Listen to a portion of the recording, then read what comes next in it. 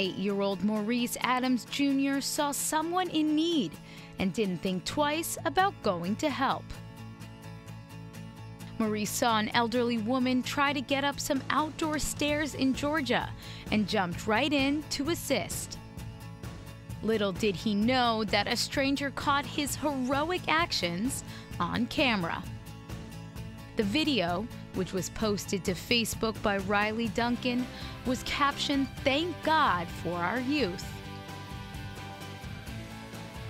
It looks like no good deed goes unnoticed.